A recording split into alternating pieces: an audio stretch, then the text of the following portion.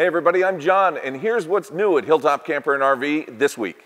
First up, Timber Ridge, the park model from Woodland Park, and we've got a series of them now in our Fridley store. You've seen them in the greater Minnesota locations before. This is a quality product with 2x4s in the walls, 2x6s in the floor. You've got real wood cabinets and a price point that's going to start in the low 100s.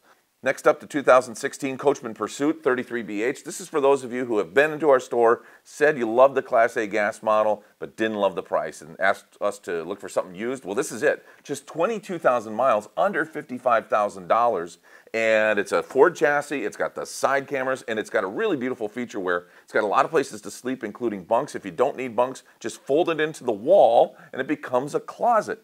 Lastly, the 2021 Jayco Pinnacle 32 RLTS. This is the most luxurious line of fifth wheel we've got, and it's a way to get into it affordably. It's under $70,000, and this thing is loaded with all the features you're familiar with with a Jayco Pinnacle, including the 102-inch wide body. You've got yourself the central vac. You've got yourself the J-Voice commands. You've got the outside TV, and no fifth wheel is going to light up as beautifully as this does at night. Come see us in Fridley, Alexandria, Rochester, or Brainerd, or go to hilltopcamper.com.